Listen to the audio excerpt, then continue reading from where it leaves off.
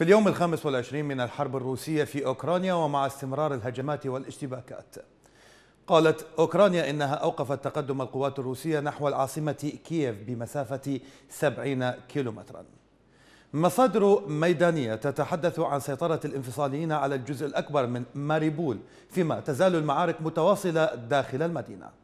بدورها قالت القوات الأوكرانية إنها دمرت رتلا عسكريا روسيا يتألف من 60 مدرعة في زابرويجيا. وإلى هذا قال سلطات لوغانسك الأوكرانية إن القتال مستمر في روبيزيني وبوبسانا بالتزامن مع عمليات إجلاء للمدنيين.